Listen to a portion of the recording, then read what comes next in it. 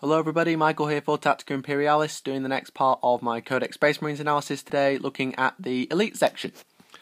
Okay, there are three pages of Elite, there seems to be three pages of everything, this Codex is absolutely huge. Okay, hang on, there we go. Start with the two veteran squads, Vanguard and Sternguard. They both have the same stat line, so weapon skill, ballistic skill 4, strength and toughness 4, 1 wound, initiative 4, 2 attacks, leadership 9, and 3 plus save.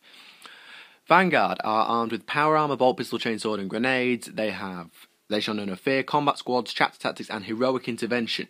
Now, with the new Sixth Ed Codexes, there is a reference section right at the back. So instead of going flicking through looking for all what the rules do, I can just go back here. Heroic intervention. Ignore penalty for disordered charges. Sergeant automatically passes initiative test for glorious intervention. So lookout sir becomes easier, and you don't lose attacks for charging multiple units. I think and you don't lose initiative for charging through terrain. Um, they are 19 points each. Going to take melee weapons. Are allowed. Each model is allowed a different melee weapon. So, for example, down here there is a vanguard squad with all sorts of different war gear. Um, any model may take a grav or plasma pistol, melter bombs or storm shield. The entire squad may take jump packs. This is recommended unless you want to put them in um, a transport, such as a drop pod, rhino, or razorback. Uh, Sergeant may take a Relic Blade for 25 points. So they're obviously very melee orientated. That's what they're designed to do. And the jump packs are the best delivery system, in my opinion. If you've seen our battle report, you know how powerful Vanguard vets can be. By contrast, the Stern Guard are armed with bolt guns and special issue ammunition. There are four types of special issue ammunition. You must use each one. Well, you must use the same one as the rest of your unit, but you don't have to keep using the same one each time. So if you choose Dragonfire, your shots gain Ignore's cover. If you choose Hellfire, your shots become Poison 2 plus. If you choose Kraken, you gain AP 4 and plus 6 inch range. If you choose Vengeance round, you choose Gets Hot, you lose 6 inch range, but you become AP 3. So these are very powerful and make the Sternguard a lot more adaptable to various situations. If you're fighting monstrous creatures, for example, you might choose Hellfire rounds to get more wounds in. If you are fighting against Warbikers, you may choose Ignore's cover. If you are trying to fight at long range, rapid fire with extra range, and if you're fighting Chaos Marines, then obviously AP3. They are 22 points each, of the same cost as a Vanguard with a jump pack. Uh, any model can choose to have a Storm Bolter instead, or a combi weapon. Combi weapons usually are a better choice because you keep the bolter ammo as well as getting some special weapons. Two veterans may choose special weapons though, so you can still have weapons. Um, Sternguard are one of two squads who have access to the Heavy Flamer as a special weapon, or a heavy weapon, which they are also allowed access to. The sergeant may take a chainsword, grav pistol, lightning claw, plasma pistol, power weapon, or power fist, so he can be made quite powerful for melee or to add some extra shooting if you need something other than a bolt gun. Uh, the Virgin Sergeant may take melter bombs, and the unit may choose the various transports. In my experience, Vanguard are very powerful, but they need to get to melee. I really like Sternguard. I think the the um, what's it called specialist ammo is really cool. Then we have dreadnoughts, and in the same stat line, venerables. Dreadnoughts are 4, 4, 6, 12, 12, 10 armor, 4, 2, and 3 HP. Venerable are the same, but they have plus 1 weapon skill and ballistic skill. A basic Dreadnought is 100 points, and it is 25 points to upgrade to Venerable. Both come with Power Fist and Stormbolter, multi melter, searchlight, and smoke launchers, and they may choose to swap their weapons. Multi melter may be swapped for a twin linked autocannon, twin heavy bolter, twin heavy flamer, or a plasma cannon, assault cannon, or a twin link las cannon, depends on the purpose you want it to fulfill.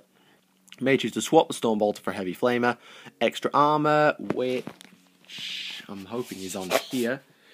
Uh, no, it's not. Sorry. Uh, but I think it, what it does is reduce stun to shaken. Power Fist and Storm Bolts may be exchanged for Twin Linked Autocannon or a missile launcher if you are knowing your Dreadnought is not going to get into melee. Bear in mind that these guys now have Power Fist instead of Dreadnought close combat weapons, so will count as Initiative 1, I believe. Uh, may upgrade to Venerable, as I said, and may select a drop pod. A drop pod is a brilliant dreadnought delivery system, in my opinion. It's the best way of getting a dreadnought up and close if you wanted to do that. Obviously, if you wanted to stay at range, then don't bother. The Ironclad, this one is even better in a drop pod. 446, 13, 13, 10, initiative 4 to attack 3 hull points. Power to Storm Bolter, and a seismic hammer with a melter gun. Seismic hammer. Right, where are you? Oh, wait, hang on. And there's also a weapons stat line page as well. Seismic hammer. times 2 strength, AP 1, concussive, unwieldy specialist weapon. So you won't gain bonus attacks for two weapons. Uh, anything you hit will become initiative 1 if it isn't already dead. You'll be strength 10, but you'll be striking at initiative 1. So pretty powerful, and it comes with a melter gun as standard. You also have extra armor as standard, searchlight and smoke launchers, and move through cover because you just smash through terrain. Mage swap Storm Bolter or Melter Gun for heavy flamers for 10 points on the Storm Bolter and 3 on the Melter Gun. May replace Power Fist with a Hurricane Bolter, which is 3 Twin Link Bolt Guns. May replace Seismic Hammer with a Chain Fist, which is basically a Power Fist with Armor Bane. May take Hunter Killer Missiles, which are single shot krak missiles. Ironclad Assault Launchers, which. I need to get faster at this. Ironclad Assault Launchers. Does not suffer the initiative penalty for charging through difficult terrain. Enemies charging this model do not gain its bonus attacks unless it was already in melee. So that's pretty powerful at keeping units from charging it at bay. Um, and of course, may take a drop pod, which I recommend because it's designed to get into melee, so it's even better. Legion of the Damned, these guys are a little bit different. Um, they have a veteran profile, so 4 4 4 4 1 4 2, but leadership 10. Uh, the sergeant is allowed plus 1 weapon skill. They are 25 points a model, so very expensive but they are pretty good. Basically, bolt gun, power armor, grenades.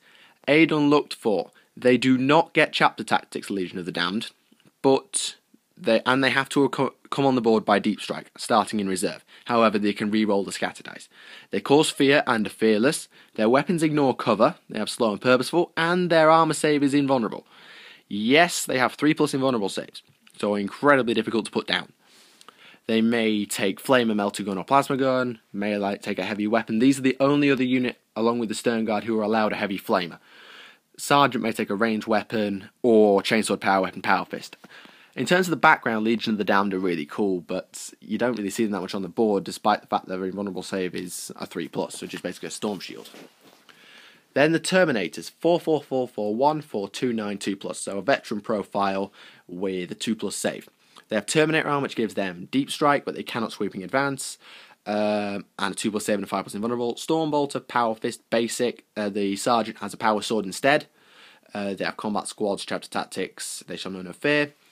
May include 5 more Terminators. They are 40 points each, so very expensive. May any Terminator may take a chain fist instead of a power fist. So if you need to crack tanks, for every five models you are allowed one heavy flamer or one assault cannon or a cyclone missile launcher. Heavy flamer 5 4 template, assault cannon 6 4 rending. 36 inch range. Cyclone missile launcher is a two shot missile launcher. You can fire your Storm as well as the Cyclone. And you may select as Land Raider of any type as a dedicated transport because they are too big to fit into regular transport, so they have to take Land Raiders counting as two transport capacity. Oh no, they don't. Actually, stand corrected. Uh, Terminator Assault Squad, same profile, but they exchange the gun and power fist for two lightning claws, which are Shred and AP3. Um, 40 points as before, and you for 5 points you can swap the lightning claws for thunder hammer and storm shield, increasing survivability, and again you're allowed a land raider. Then we have the Centurion Assault Squad. Weapon skill ballistic skill 4, strength and toughness 5, 2 wounds, initiative 4, 1 attack, leadership 8, and a 2 plus save. Sergeant has plus 1 attack and plus 1 leadership. They are armed basically with a twin link flamer, the ironclad assault launchers I mentioned earlier, and the siege drills. Siege drills. Ah. Where are you? Siege drill. Strength 9 AP 2 armor bane. So no initiative drop and very good at wrecking vehicles and things. That's what they're designed to do. Decimator protocols allow them to shoot at two units. Um, move through cover, slow and purposeful, and very bulky. So they count as five for transport capacity, I believe, or is it three? I can't remember. Uh, may include three more Centurions. They are 60 points. Very expensive. May replace Ironclad Assault Launchers with Hurricane Bolter. This is up to you. Uh, may replace Twin Link Flame with Twin Link Melter Gun. May take an Omniscope. Omniscope. What does that do? Um, right, where is it? Oh, it's not here. That's annoying well, I'm sure anyone who has this book can find it, but I believe it's split fire, allows the sergeant to fire at a third unit. Uh, and they are allowed to take Land Raiders as well because of their sheer size. Centurions have one problem compared to Terminators. Yes, they're stronger, yes, they're tougher, yes, they have two wounds, but they don't have that invulnerable save, so they can be very easily killed, unfortunately, in comparison to, say, a Terminator or art, maybe not Artificer armor. Um, and they are very slow because slow and purposeful obviously slows them down, meaning that to get them to where they need to be, they need to take a land raider, and that's even more expensive. In terms of the elite section, um, you don't see Vanguard a lot, despite their pretty high power. just the delivery problem and get and melee being weak. Uh, Sternguard, you don't see enough of them. I think they're really awesome with the special issue ammo, but it's up to you which one you choose to take. And if it was me, I'd try and run both, but preferably Sternguard. Dreadnought's pretty common, sometimes venerable because of their power, and a drop pod can be a real good threat. Same with the Ironclad, but you see it a bit less because it's 135 points and it's very melee based. The Legion of the Damned, I wish you'd see them more because they're really cool, but the problem is they're very expensive in terms of points. Even but if you can get them into position, their three plus invulnerable save should help them out. Uh, Terminators, again, very powerful but very expensive, and because they're mainly melee based, they don't get run all that often. Especially so the Terminator Assault Squad, because you have to get them where they need to be, and that's problematic. In Centurions, as I said, no invulnerable save, very slow, very expensive. So maybe, but I'm not that keen. Um, that's all for this video.